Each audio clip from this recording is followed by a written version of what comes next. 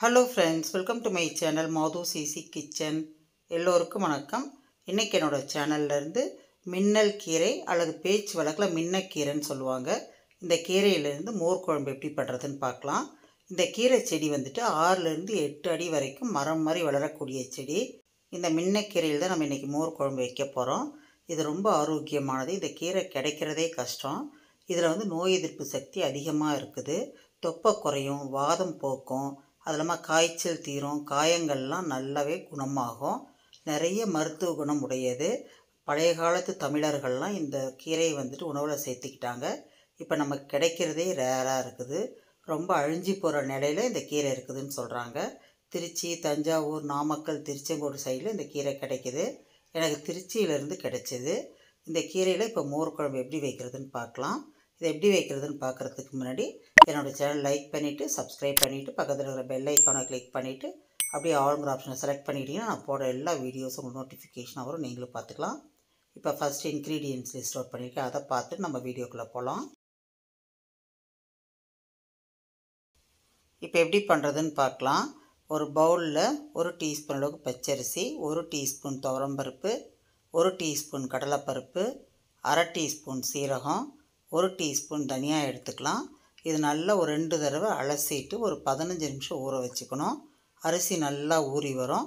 அடுத்ததாக ரெண்டு கைப்பிடி அளவுக்கு நான் மின்னல் கீரை எடுத்து வச்சுருக்கேன். இந்த கீரை கிடைக்கிறதே ரொம்ப கஷ்டம். எங்கே கிடைச்சாலும் நம்ம வாங்கிட்டு வீட்டில் இருக்கிறவங்களுக்கு செஞ்சு கொடுக்கணும். இதனோட இலை இப்படி தான் இருக்கும். ஃபஸ்ட்டு இதில் இருக்கிற நடு நரம்பை நம்ம கிள்ளி தனியாக வச்சுக்கணும். இல்லைன்னா நம்ம மோர் குழம்பு செய்யும்போது நமக்கு வாயில் கிடைக்கும். சாப்பிட்றதுக்கு நல்லா இருக்காது. ஒரு ஒரு இலையாக எடுத்துகிட்டு அந்த சென்டரில் இருக்கிற நரம்பு பகுதியை நம்ம கிள்ளி தனியாக எடுத்து வச்சுக்கலாம். இது மாதிரி எல்லா இலையும் நான் கலெக்ட் பண்ணி வச்சுருக்கேன். அடுத்ததாக இதை நல்லா அலசிக்கலாம். அலசிட்டு ஒரு தட்டில் வச்சுருக்கேன். அடுத்ததாக கீரையை பொடியாக கட் பண்ணிக்கணும். இது மாதிரி பஞ்சாக எடுத்துகிட்டு பொடியாக கட் பண்ணிவிட்டு ஒரு பவுலில் சேர்த்திக்கலாம். ஏன்னா நம்ம மோர் குழம்பு கீரை வதக்கிட்டு தான் போடுவோம். அதனால் பொடியாக இருந்ததுன்னா ஈஸியாக வதங்கிடும். இதை நான் கட் பண்ணிவிட்டேன் எல்லாத்தையும் ஒரு பவுலில் சேர்த்திட்டு கலெக்ட் பண்ணி வச்சுருக்கேன். அடுத்ததாக நம்ம அரைக்கிறதுக்கு ரெடி பண்ணிக்கலாம். ஒரு மிக்சி ஜாரில் ஊற வச்ச ஐட்டம் சேர்த்திக்கலாம். இது கூட ஒரு ஏழு பச்சை மிளகா போட்டிருக்கேன். நீங்கள் காரத்துக்கு தகுந்த மாதிரி போட்டுக்கோங்க. ஒரு இன்ச் அளவுக்கு இஞ்சி ஒரு கால் மூடி தேங்காவை இது மாதிரி பீசஸ் பண்ணி வச்சுருக்கேன். அதை சேர்த்திட்டு நல்லா நைஸாக அரைச்சிட்டு வந்துக்கலாம். அடுத்ததாக இது கூட கால் லிட்டர் தயிர் சேர்த்திக்கலாம். தயிர் ரொம்ப புளிச்சிருந்தா மோர் குழம்பு நல்லா இருக்காது. ஓரளவுக்கு தான் புளிச்சிருக்கணும். அதை மட்டும் பார்த்துக்குங்க. இப்போ பல்ஸ் மோரில் ஒரு தடவை அடிச்சுட்டு வந்துக்கலாம்.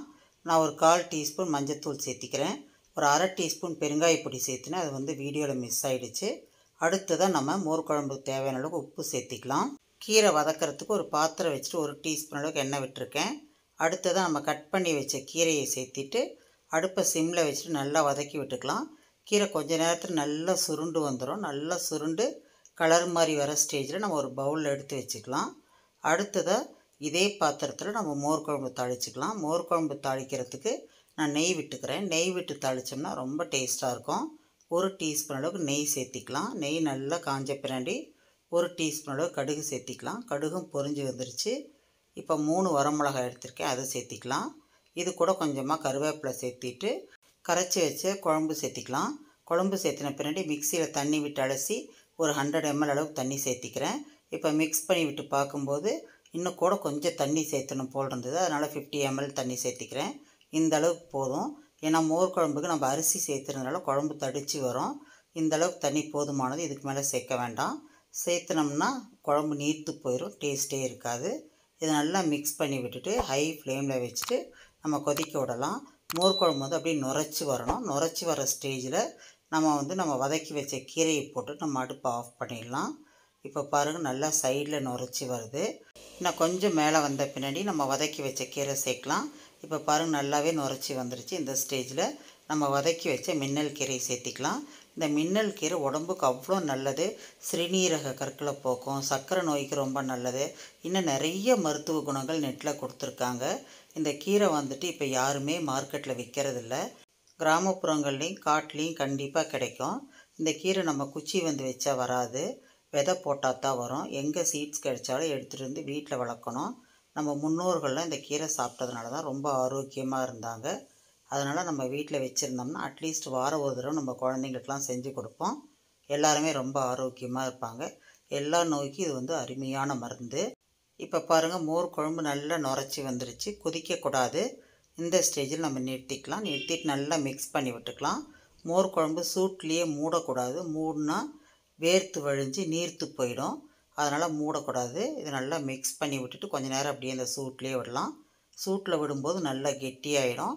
இப்போ பாருங்கள் நல்லா சூடு ஆறிடுச்சு. நான் ஒரு பவுலுக்கு மாற்றிக்கிறேன் ஒரு பவுலுக்கு ட்ரான்ஸ்ஃபர் பண்ணிக்கலாம். இது இன்னும் சூடாக இருக்குது இன்னும் போக போக நல்லாவே கெட்டியாயிடும்.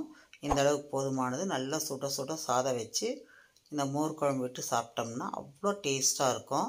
ஹெல்த்தியானது கூட கண்டிப்பாக நீங்கள் வீட்டில் இருக்கிறவங்களுக்கெல்லாம் வாரம் ஒரு தடவையாவது இந்த கீரை செஞ்சு கொடுக்கணும். அப்போ தான் நோய் நொடி இல்லாமல் நல்லா ஆரோக்கியமாக இருப்பாங்க.